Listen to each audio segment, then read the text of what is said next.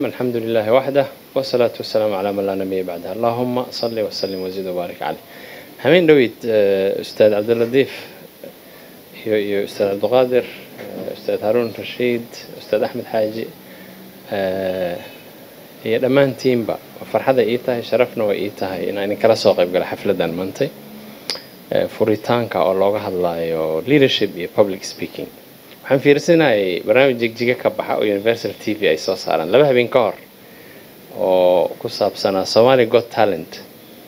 Meeshii america ahayd bay soomaaliya ka dhigeen. Soomaaliya lama dhihi karo moogtahay muqdisho ma ahan. Marka qof cod ku tartama iyo qof hees ku tartama nin baa soo istaagay dhallinyaraha toban iyo toddoba jir aan umalayna wuxuu aniga waxaan ku tartamayaa dhiirigeliye. Kelmaddii u horreysa markood cunaa hadlana hadalkaa ka xirkaasu inta xogta waa hadli waaye waa hadli waaye marka waxaan aaminsanaha haddii mind success institute uu kooras ka qaadan lahaa nin afbaxsan oo maasha allah tabaaraka allah hadalka heli og oo cajiiba inuu noqon lahaa. Diploma marka la dhaho leadership iyo public speaking aadiyan dunida hadda horumartay wiig iyo laba wiig iyo qaarkood saacaday ku qaataan dhowr dhowr kunoo dollarna waa lagu bixiyaa waxaa la soo duulinayaa khubaro diyaarado soo raaca waqtigooda uu qorshaysan yahay saddex bilood waxaad garanaysaa waxaa la idin bari doona juhdiga la geliyay intuu la egyahay. Dalka aan ka soo jeednana waa ogtihiin oo meeshaan xamar waaye baahida loo qabo leadership iyo public speaking adinkaa iiga markhaati. Oo intiinaan inta maydnaan fadhideen. Public speakingka waxaan u dayn doonaa haddii ilaahay saaxiibaday kale biidni illah waxyar aan leadership ka dhaho. Dhaqan waxaa jira soomaalida oo cajiiba oo ah ama uu dhalasho oo hibo boqorka uu bixiyo ah. Ama in qofka loo tababaro tadriibaad badan uu galo inuu hogaamiye noqdo. Laakiin waxaad moodaa in soomaalida jiin ahaana ay ka soo jeedo mid hogaamineed si wax naga noqdeenba kow iyo soddonkan sano xeerxumada si wax naga noqdeenba in jiin ahaan meel culus aan ka soo jeedno. Leanna hogaamiye waxaa la dhahaa qofka markuu dabacsan yahay qofkuu degan yahay deeq badan yahay dad iskuwad badan yahay hebel waa dowlad gacan furan oo cajiib ah. Qof kasta oo soomaali ah iyo koox kasta iyo gobol kasta iyo maamul kasta marka xilliyada adag lagu jirana. Waa qof jamhuuri ah oo aan gorgortamin. Marka la fiiriyo qiyamka soomaalida. Xilliga nabadana waa qof gorgortama oo waxna bixiya waxna qaata. Labadoodaas qof aan laga helin ama koox aan laga helin ama reer aan laga helin midnana ma jiraan. Waxaan rabaa inaan idin bogaadiyo in la idin xulay.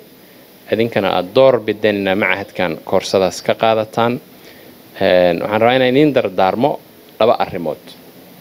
Mid waa diinteenno ninaan saaxiibanaa wuxuu yidhaahdaa anu reewaamaan ahay meesha tooshka soomaalida ay ka dhahaan kale karbuunaan dhahnaa karbuuno shanqaad ah.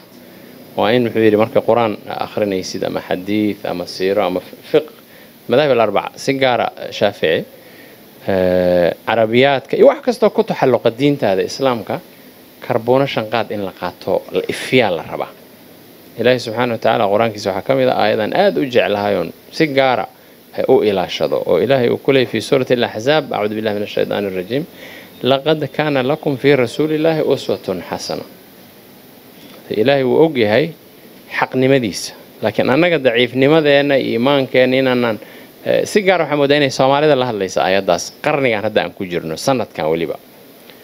Waxaa idiin ahaadayoo xaqiiqda ah lakum adinka idiin ahaaday marka toosh lagu daaro fii kulli sha'ni rasuulillaahi sala allahu calayhi wasalam uswatun xasana kudayasho wanaagsan liman kaana yay u tahay yarjullaaha walyowma alaakhar wadakara allaha kaiiran min suu u kaftami jiray nebiga sal alla alay wasalam suu u dhoola caddayn jiray guurkiisii hogaankiisii tacaamulaadkiisii bal siirada inta qaadid akhri inaad u baahan tahay hogaamiye ka duwan waxaa siirada ku aragtay waa cajiib waa soomaalidana saddex iyo toban qodobaa la sheegay inuu qiyamka noo yahay. Qiyam waxaa la waxa aan la xala ilaashado oo aan laga tallaabi karin oo aan laga gorgortami karin. Shareecada jamhuuriyadda isirka soomaaliga wakiilka aan ka nahay xilliga nabaddana inaan difaacno aan danjire noqonno xilliga colaadana aan daljir noqono qori qaadano. Markii horena qalin kan dambena qori iyo in dhaxal la reebo. Maadaama la dhimanayo in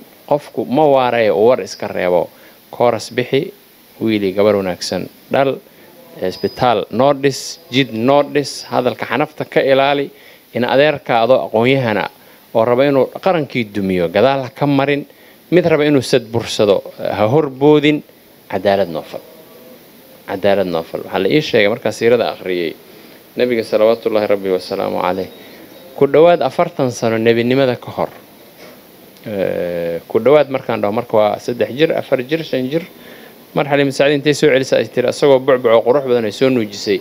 Ma la isiin karaa markaan aan soo hayo aan ku soo raaxaysta hayntiise oo la sii ceshatay. Tuu mararka qaarkood ilmaha ariga la raaco wuu iscidlaysan jiro meel fadhiisan jiray oo dhabanada qabsan jiray. Bacda nubuwadii bacdkii kadib aa la weydiiyaa layidhi waagii maxaa si ka ahaa? Wuxuu yidhi waxaan la yaabi jiray ukaltanka dadka ay u kaltamaan awoodda iyo hantida. Maanta intaan soomaaliyada kale la gaarin xamar kaltanka ka socda fiiri oo dadku ay lacag ku raadinayaan ama ay awood ku raadinayaan. Afar iyo toban qarni iyo bar iyo shan sano mi ah kun afar boqol iyo afartan iyo labo iyo toban iyo saddex sano qabla alhijra marka lagu daro. Afar iyo toban sano afar iyo toban qarni iyo bar iyo siyaado meeshay weli taaganta haddii nebi dambe soo bixi doonana ma lahan.